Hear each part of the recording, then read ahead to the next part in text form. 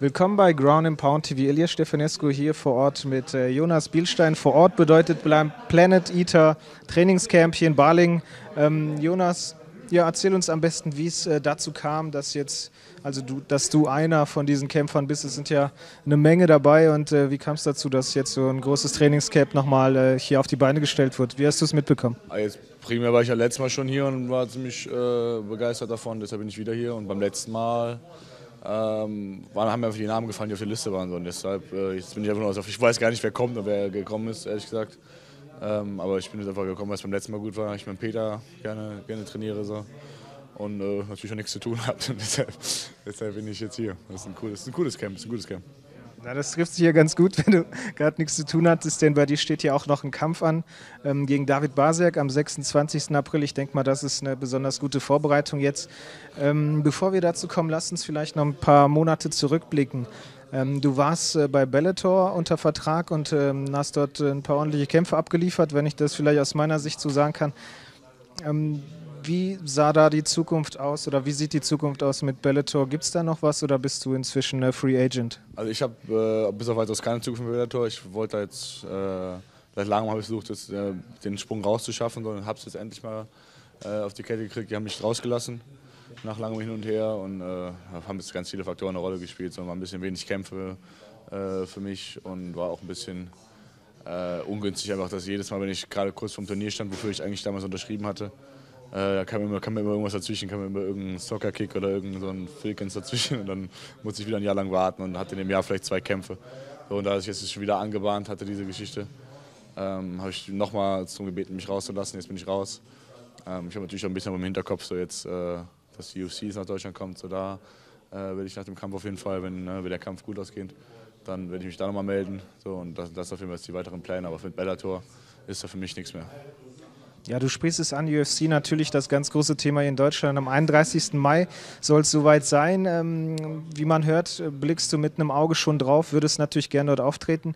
Ähm, auf der anderen Seite hast du einen Kampf am 26.04., wie gerade schon erwähnt, äh, bei der Mixfight Gala. Ähm, wie wichtig ist denn dieser Kampf deiner Meinung nach? Also kann man vielleicht sogar so davon ausgehen, dass solltest du diesen gewinnen, giltst du äh, als äh, ja, Geheimkandidat sozusagen für die UFC, kann man sowas sagen? Also ich kann das auf jeden Fall nicht sagen, das könnt ihr von mir aus sagen. Ich äh, bin da noch nicht so in der Position. Ich habe mit denen kurz gesprochen. Ich hatte ja schon mal, für die, die nicht, ich hatte schon mal einen Vertrag auf dem, äh, auf dem Tisch, bevor ich dann irgendwie mich dazu entschieden habe, doch gegen Attila Weg zu kämpfen und dann verloren habe. Ähm, und dann habe ich nach dem Kampf natürlich jetzt nochmal nach dem Bellator Release nochmal angefragt und äh, die haben natürlich argumentiert, dass seit dem letzten Kampf, den ich da hatte, äh, den letzten, seit dem letzten Angebot, den ich hatte, halt auf sechs Kämpfe drei Siege gefolgt sind. So, das hat ihnen nicht gereicht. So, deshalb der Kampf ist auf jeden Fall schon mal, schon mal wichtig für mich. Eine Niederlage geht gar nicht. So, ich muss auf jeden Fall gewinnen. Ähm, wenn das irgendwie noch was werden soll in nächster Zeit und mit, in Kombination natürlich mit diesem Deutschland-Comeback äh, jetzt. Und äh, deshalb ist der Kampf schon, schon wichtig, aber natürlich absolut nichts, wo ich jetzt sagen würde, der Kampf dann UFC. Soweit, das, das habe ich schon nicht gehört, das hat mir keiner gesagt, deshalb kann ich das auch so nicht weitergeben.